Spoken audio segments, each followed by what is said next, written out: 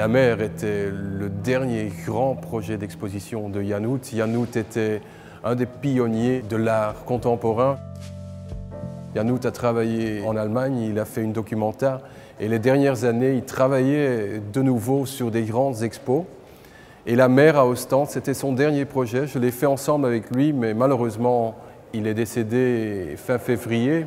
Et comme hommage, non pas seulement à la mer, mais on a fait encore un salut d'honneur à Yanout avec 150 artistes euh, différents, de Courbet jusqu'à Chris Martin.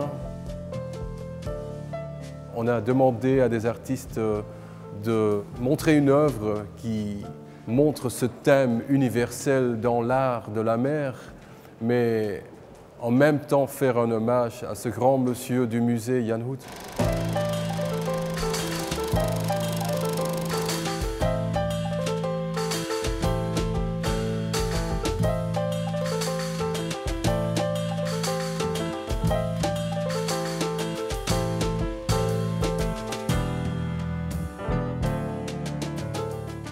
L'idée de l'exposition, c'est vraiment d'aller aussi en dehors des murs, des portes du musée. C'est une chose que Yanout a toujours fait.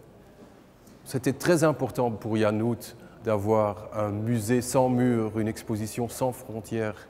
Et aussi, dans toutes les discussions qu'on a eues sur cette exposition, le point de départ, c'était le musée, mais en même temps aller avec l'art dans la ville.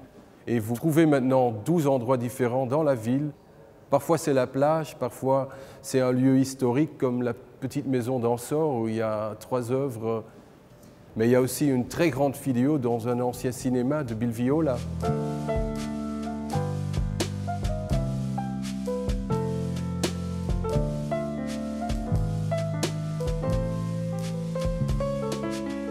On a une nouvelle œuvre sur la plage de Chris Martin. À la gare d'Ostende, il y a un grand billboard de John Baldassari. C'était vraiment cette idée-là de Yanout aussi, de montrer aux gens l'art contemporain, non pas seulement dans le musée, mais aussi en centre-ville, à la mer, à la plage.